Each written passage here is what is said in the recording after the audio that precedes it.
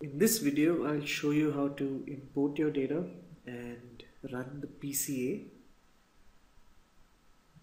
So I'm using a read.csv and my file name is employeefactor.csv. You should be able to download it and run it yourself as well.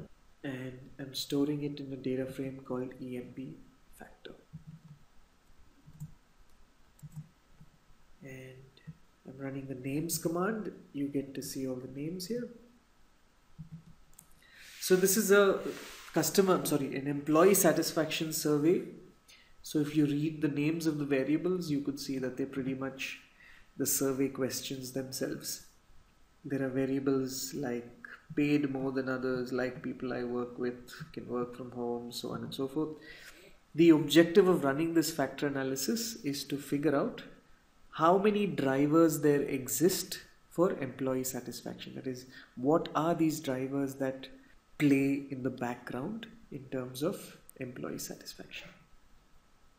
So the first task with our dataset is to use the principal component analysis.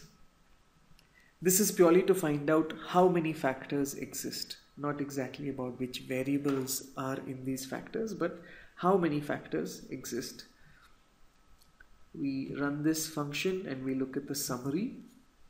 Now if you look close, the proportion of variance is telling you what proportion of variance does this particular component contribute. And this proportion of variance is going to keep dropping with every new component. So if you look at this number it started off with 26% ends up with 9% by the fifth component.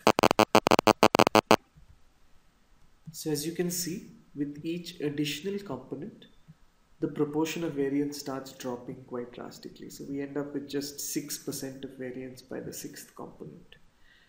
So by taking a look at this, we could assume that five factors is what we want. That beyond five factors, the proportion of variance that is explained is not comprehensive so we can guess at this point that 5 are the number of factors we want. We can confirm this by plotting. So we've gone up to component 5 which is here and as you can see beyond that the components fall off quite drastically. There is not much uh, variance that is being explained.